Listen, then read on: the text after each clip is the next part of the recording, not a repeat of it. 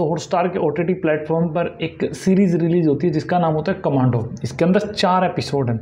और जब इस सीरीज़ को मैं देख रहा था, उस वक्त मुझे अपने आप पे गुस्सा आ रहा था कि मैं इस वाहियात, इस घटिया सीरीज़ को मैं देख क्यों रहा हूँ?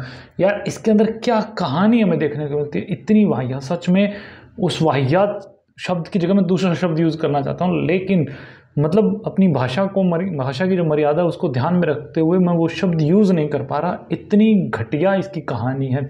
वही क्या पाकिस्तान भारत को बर्बाद करना चाहता है। और इसके लिए वो एक वायरस बनाता है। बहुत हाईटेक लेवल का एक वायरस होता है।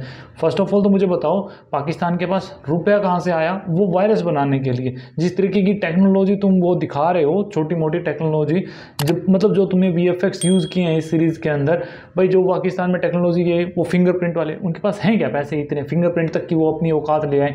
अरे वो कटोरा लेके वैसे घूम रहे हैं, उनको कोई भीख तक दे नहीं रहा। और तुम दिखा रहे हो इतनी बड़ी लैब उन्होंने बना ली, इतना हाईटेक लेवल का उन्होंने वायरस बना लिया खैर वायरस पे फोकस करें तो वो वायरस बना लेता है। अब उस वायरस को ख़त्म करने के लिए भारत की तरफ़ से कमांडो जो है, उसकी लैब में, यानी पाकिस्तान की लैब में भेजा जाता है। जो वायरस तो ख़त्म कर देता है, लेकिन वो पकड़ा जाता है। अब उस कमांडो को बचाने के लिए दो कमांडो और आते हैं, एक फीमेल और एक मेल अब यहाँ पर वो अपनी प्लानिंग बनाना स्टार्ट कर देते हैं। अरे भाई, सच कहूँ, मेरा ना दिमाग की दही हो गई इस सीरीज़ को देखकर। इतना गुस्सा, इतनी नफरत पैदा हो गई मुझे इस सीरीज़ को लेकर। यार ये ये जो सीरीज़ है ना, वो कमांडो जो शब्द है, उसको बहुत ज़्यादा एक तरीके से बदनाम करने का कोशिश किया गया, ऐसी फीलिंग आई।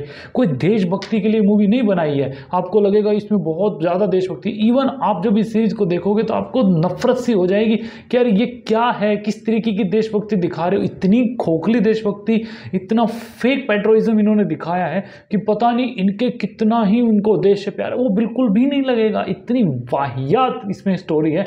ऊपर से वाहियात तो स्टोरी है यही ऊपर से जो मतलब मतलब दो बार ऊपर ऊपर दिया। इतनी घटिया परफॉर्मेंस किए गए मतलब वो उसके अलावा उसमें इतने घटिया डायलॉग वो बस सुनने की देरी होती है और कानों से खान, खून आने को आपके तैयार होगा। इतने घटिया डायलॉग इतनी घटिया परफॉर्मेंस और वाहियात इसके अंदर स्टोरी ये सारों का तालमेल जो है आपको इस कमांडो सीरीज़ में देखने को मिलेगा। चार एपिसोड वो झेलने मुश्किल हो जाएँगे आप लोगों के लिए। अरे, क्या देख रहे हैं ये? अरे नफ़रत हो गया यार, मुझे यो, जिस तरीके की सीरीज़ बना रहे हैं, मुझे लगता है कहीं ना कहीं एक देशभक्ति को ऐसे दिखाना चाहते हैं कि यार, आप देशभक्त हो तो आप देखिए कितने बड़े बेवकूफ़ हैं। ये उस तरीके की फीलिंग ला देती है ये सीरीज़ वाकई में, जब आप इसको देखोगे तो आपको वैसी ही फीलिंग आने वाली है। अब यहाँ पर जो ये प्लानिंग करते हैं ना, भाई, ये कमांडो को बचाने जा रहे हैं। अब प्लानिंग क्या करेंगे?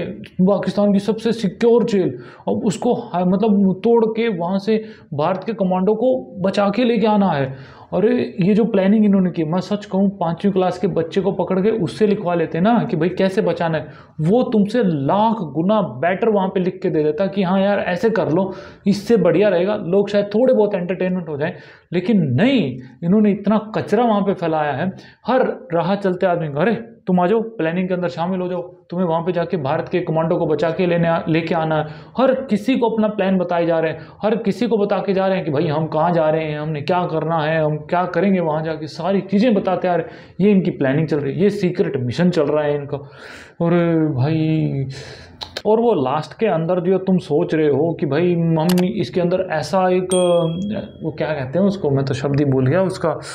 अरे, जो मिस्ट्री मिस्ट्री तो शब्द अच्छा नहीं लगेगा। एक शब्द यूज़ करते हैं सरप्राइज़ हाँ सस्पेंस सरप्राइज़ कि भाई इसके अंदर तुम्हें बहुत बड़ा धक्का लगेगा देखो हमने क्या सरप्राइज़ रखा है। अरे घटिया था वो लास्ट में जो तुम इस सीरीज़ के फोर्थ एपिसोड के लास्ट में, में वो जो सरप्राइज़ देखने को मिलता है वो मुझे लगता है कि पता नहीं कितने ही ज़्यादा लोग जो है उसको देख कर अचंभित हो जाएँगे शौक हो जाएगा कि यार देखो यार इसके अंदर ये भी चीज़। अरे मतलब मैं थूकता हूँ तुम्हारे सरप्राइज़ के ऊपर इतना घटिया वो चीज़ है बेकार।